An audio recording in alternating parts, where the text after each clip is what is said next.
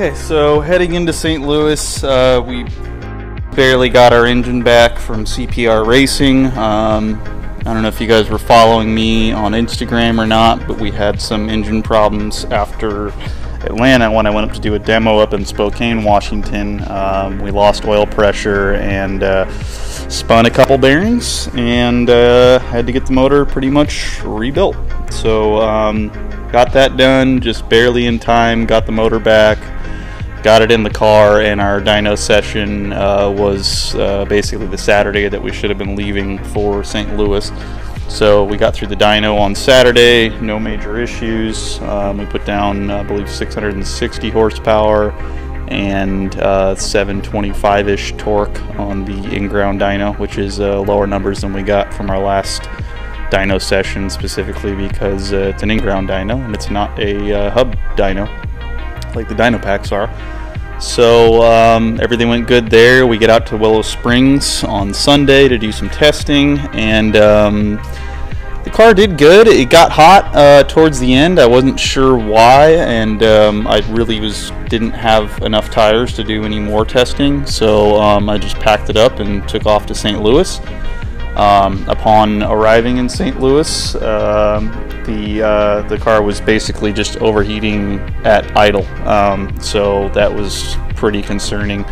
Um, so I started looking around the car, seeing what the heck could be wrong, and I noticed that the radiator was pretty much room temperature, and the engine was uh, 230 degrees. So at that point, I figured the either we had some flow problems or the water pump was bad. Um, I took off the hoses um, and uh, sort of uh, ran hose water through everything to make sure we didn't have any blockage. So um, there was no blockage, so we picked up a new water pump, threw it on the car. Same things happening. Um, so at this point, we were pretty sure we had some giant, massive air bubble in there somewhere, which I've never had before. Um, normally I do a vacuum bleed on this car where we pull vacuum onto the cooling system and uh, we don't have any issues bleeding. I haven't had any issues with the cooling system in four years, and all of a sudden, with this new engine, we have uh, issues. Um, so we just kept bleeding it every which way we could. We vacuum bled it. We bled it with the with the funnel that sits above the uh, the expansion tank. Um, we cracked pretty much every fitting on the car and ran it and let air sort of work its way out of the system. Um, we were about to give up. We were actually going around uh, asking. I had to ask the judges and the uh, the uh, organizers at Formula Drift to sort of figure out what constitutes a qualifying run because we do get a single point for just leaving the line uh, during qualifying. So we were kind of out to get that point, you know, just in case. And um, so that was our plan at that point. We just kept bleeding it to try and figure it out. And finally, lo and behold, it, it held temperature. It was sitting at about a buck 80, and um, the fans were working. Everything just seemed, seemed to be working properly. So we went out and uh, got a couple practice laps in. Um, my practice laps were terrible, to say the least. Um, the car was way too gripped up for that course, and we did not have much time to make any changes uh, in between uh, runs because we had maybe 30 minutes of practice left, and that was our last practice session. So, um, just didn't even I don't even think I completed a full lap during during our five practice laps or whatever. It was just too much grip. I wasn't feeling the course, um, and uh, just just wasn't feeling comfortable. Um, so uh, we go out to qualifying. Um, first lap was pretty mediocre, I want to say. I think I missed my outside zone pretty good, and I was doing a lot of lifting where I shouldn't have, and just not sort of fluidly flowing through the course. Um, second run was better, still not what I would say would be you know my greatest work, but um, it was just barely enough to sneak us into that 16th spot, and we uh, we barely made it into the top 16, which was a big relief considering all the stuff we were going through and. Uh, the fact that you know when I when I drive bad, I got a lot to hold over my shoulders. There's a lot of people out there helping me, and uh, I don't want to let them down. So, um, so we barely snuck in there, and um, yeah, it was pretty good. Um, Friday we show up, we get about two practice laps in. Um, there was some steady rain going on, and then all of a sudden shit hit the fan. And when I mean shit hit the fan, I mean quite literally. There were 60 mile per hour winds. It was it was just nuts. I'm going to show you this video that uh, my buddy John Jack Cerrone got out there um, of the Nitto uh, display tent being destroyed and it throwing a 60 pound sandbag about 100 feet plus into the air. Um, it was nuts. Uh, all the live stream equipment, all Formula D's communications equipment were all wrecked. Um, they had no way to do the live stream, no way to communicate with their guys out on track, and uh, they called the day. They said, you know what? Um, we possibly could run the event, but they didn't have all their uh, communication stuff in place, so they decided to just uh, schedule it for the next day. So Saturday night, I actually got some pretty decent sleep. Uh, my buddy Curtis was snoring his ass off on the previous nights, and we switched beds around so that I didn't have to deal with his snoring all night.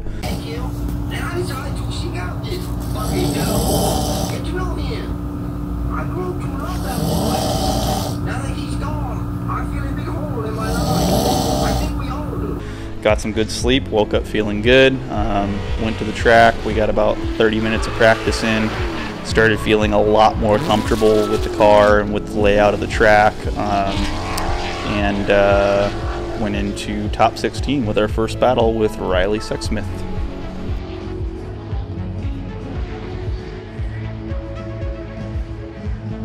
All right, so first battle with Riley, I was in the follow position. Felt like I had a pretty good line going through the first two clips, a um, little off the clips, and I probably should have been a little bit closer to Riley, but uh, found a way to close the door. He kind of made a small mistake going into uh, the outer zone one, and uh, I tried to capitalize on that by sort of cutting the inside line, and uh, ended up pretty close to a finish there. Middle line there, Ryan for Sexsmith.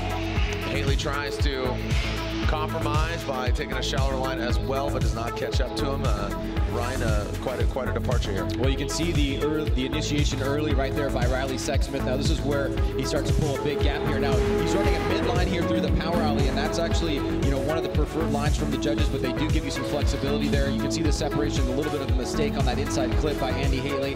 Hateley starting to close the door towards this outside zone by taking a tighter line, which you definitely probably want to do strategically, but it will come at a cost coming into the second lap, uh, threw a huge gap on him going uh, down the straightaway. Um, I believe his car was popping out of fourth gear, so I think when he threw it into fourth, it kind of just popped out on him, and uh, unfortunately, that that gave me a big gap heading into the first corner and hit my first two clips really well. Carried that um, through uh, into the third clip and uh, hit my outer zone um, pretty good, um, about two or three feet off of the, uh, the edge of the pavement throughout the whole way through and uh, it turned out to be a pretty good run, giving us a one more time and uh, extending our battle. So Ryan, Andy, and Brian are three judges. Ryan says one more time. Andy says Riley Sexsmith, and Brian says one more time. So they're going at it again. So this is a one more time battle. So second battle, um, or, sec- or our first one more time with Riley, I should say. Um, was feeling a lot more comfortable with the course at this point. You know, I was feeling the flow. I was feeling feeling good. Um, so uh, we took off, and I stayed with him pretty good until the first clip. Uh, stuck with him good past the second clip and uh, maintained a lot better proximity um, coming into the third clip and uh, lost a little bit of proximity as we go into uh, outer zone 2 but just gained it right back and uh, stayed with him the whole time. Kind of fell into the smoke line at the end of the, uh, the course there but did a pretty good job holding our own. Overall proximity let's see how Sexsmith does out front. He overshoots that first inside clip by a little bit now coming through that second section there you can see he's a little bit wide on that second inside clip as well And Hateley was tucking through that smoke line to try to gain proximity. Here you see a little bit of separation, and then Hateley closes the door back up. Sexsmith right on that third hash mark. A little bit of angle reduction there from Hateley towards that final turn through the finish line there. So this run, I decided to kind of go full force. And attack this course uh, nailed the first clip very well, nailed the second clip very well, carried some really good momentum through into the uh, touch and go and into the third clip. Really good momentum into the outer zone and really filled my outer zone this time. I mean, tire right on the edge of disaster right there, and uh, still was able to bring it back with the inside clip and uh, sort of looked back after the battle, and I was like, where the heck is Riley? and uh, he was way back there. He got kind of lost in the smoke in the final corner and kind of shut it down a little bit. Um, but uh, it was enough to uh, to give us the win. I don't think either of us did some anything in, uh, extremely impressive. I just think my lead was a bit better, and uh, um, my chase was also a bit better. Um, mainly due to Riley's uh, fourth gear popping out. But uh, I mean, that's that's the way it goes sometimes. So I got the win and moved on to our top eight battle with Dylan Hughes. Oh, look at this. Ryan says Andy Hateley. Andy says Andy Hateley. And Brian says Andy Hateley gets the win. Hateley gets the win, taking down our number one qualifier. And uh, I completely agree. So it's the first time I've driven with Dylan. Really solid dude, really good driver. Um, felt like I was able to stay close to him um, without major, you know, problems, without having to stretch my lines or cut my lines or anything like that. Um, stayed with him pretty good throughout the entire course. I didn't really close the door anywhere, but I didn't, you know, open the door either. Um, the last corner, I kind of cut the line a little bit to try and gain some proximity, and that kind of it was a give and take situation. I feel like uh, I lost, you know, some ground at the end of the course because I cut the line, but I also gained some ground too. So um, I think it was a good good move in the end because uh, there was no real place where uh, where uh, Dylan closed the door. So um, I feel like it was a good move on my part.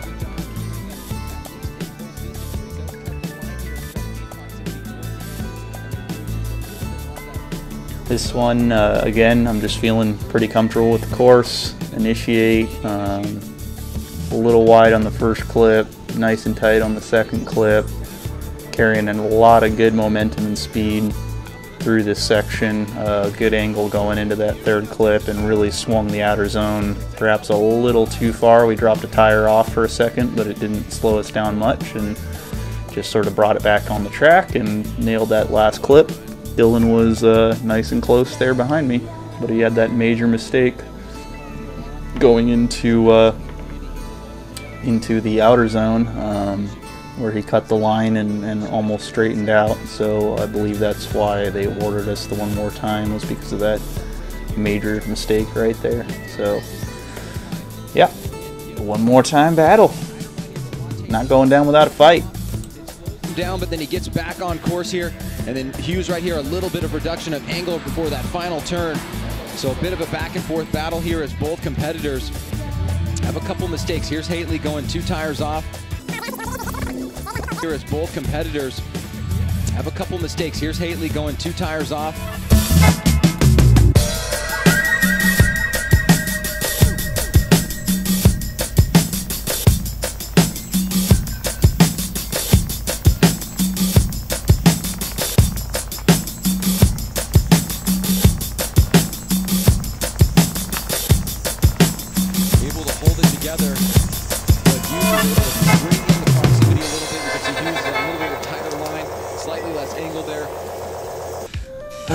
So second one more time battle. Um, I really wish I would have pushed a little bit further in this battle. Um, the rear end of the car was already kind of acting weird. One of our adjusters came loose, and uh, the trailing arm was pretty much uh, broken at this point. Um, but uh, I didn't quite know it yet. I just knew that something was going on with the rear of the car. I was getting wheel hop out there, and uh, the car was just acting funny. Um, come to figure out later, one of the main tubes for the trailing arm had uh, pretty much broken the whole way through. So only one of the connection points uh, to the trailing arm was kind of holding everything together. So I was getting you know camber and toe and uh, and and all that was just sort of adjusting as the car is sliding around, depending on how much weight's on it, depending on which way you're sliding, the toe would just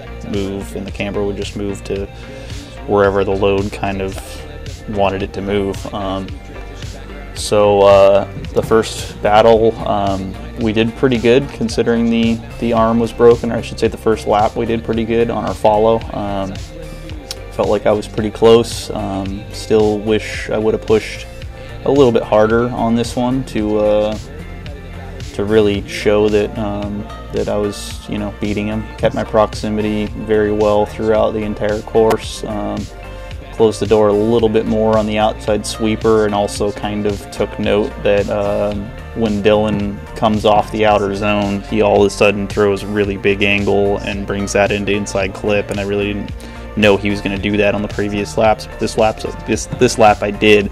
So I followed accordingly and kind of tucked in behind him and threw big angle kind of at the same time, so that uh, so that we stayed you know uniform throughout the course and. Uh, good times, good laps. Just wish uh, the control arm wasn't broken. My lead lap, um, I initiated and the car just went super wide, as if I had you know zero grip on that side of the car. And um, the you know I want to say it's the trailing arm. It could have been my mistake. It could have been a combination of both. You know my mistake and the trailing arm being bad, but uh, we went you know a full car length or so wide on that first clip and just completely botched that run.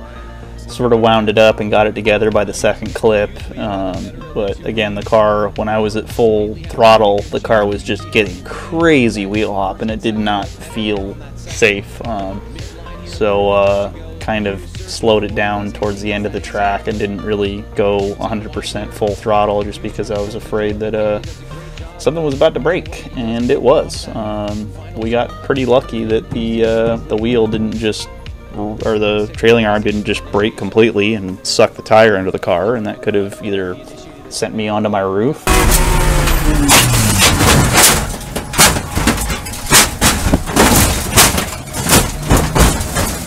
Or sent the tire back into Dylan's car, or I mean, there's a multitude of bad things that, that could have happened if that trailing arm did fully break. Um, but luckily it didn't. Um, unfortunately, Dylan got the win right there. Um, almost positive that it was that huge mistake at the first inside clip that kind of sealed the deal.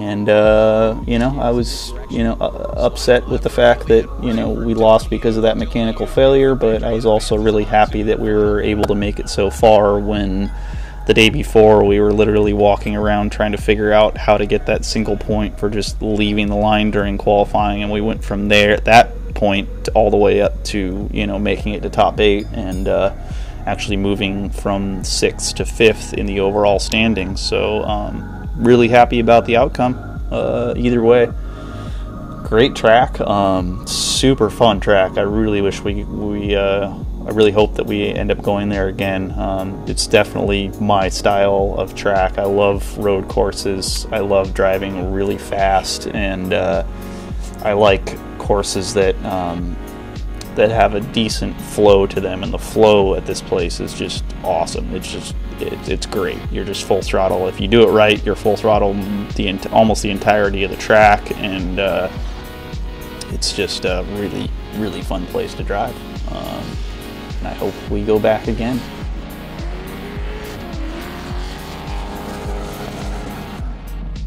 I guess that's that. Um, off to the alignment shop tomorrow to try and get the uh, the trailing arms kind of aligned at least evenly, so I can make a jig off of them and uh, start building these trailing arms and get a new set on the car so that we can drive in Texas.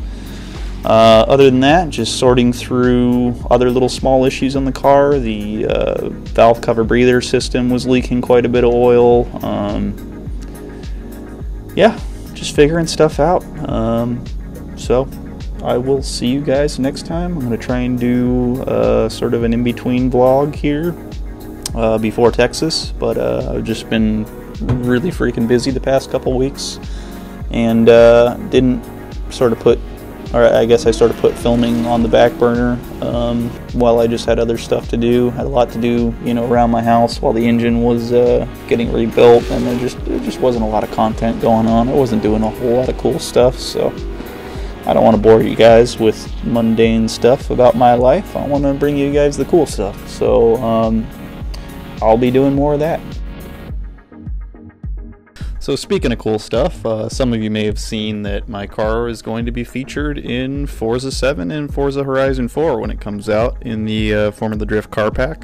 So, be sure to grab Forza 7 and grab Horizon 4 when it comes out so you can drive my car. Um, it's very cool. Uh, I've been playing, you know, driving games since Gran Turismo 2 on PlayStation 1 way back in the day. So um, I run pretty deep with the sort of driving simulator, and I really do believe that it teaches you a lot of the skills that you need to have out there on the track. Um, so uh, it's it's kind of a dream that I never had come true. I guess you would put it that way. Um, I'd always thought about it in the back of my head about, you know, having the car in a game or something like that, but never in a million years did I think that would come through. I never thought that uh, that car or me was that special at all. So, um, yeah, it's just really cool. Um, grab the game, play it. Uh, I'll be online playing a lot uh, leading up until the release. Uh, got my simulator set up, all all set up for Forza 7. Got an Xbox One a few weeks back, uh, probably about a month or two back actually. So uh, yeah, find me on there. My gamer tag is Hateley Drift, just like my Instagram, and let's go bang some doors together, guys. I will see you guys next time, and thanks for watching.